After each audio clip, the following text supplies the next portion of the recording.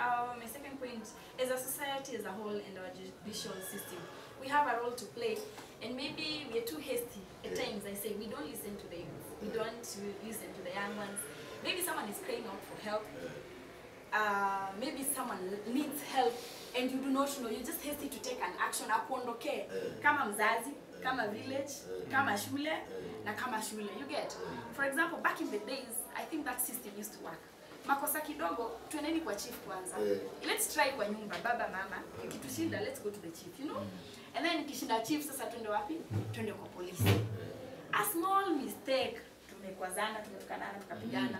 Tuko kwa polisi, tuliruka baba, yeah. tuliruka mama, yeah. tuliruka chief elder. yeah. You're already in jail. You Eh. know, if we, we, we, we follow the system and the protocol that is there, probably will even help our own societies from that level.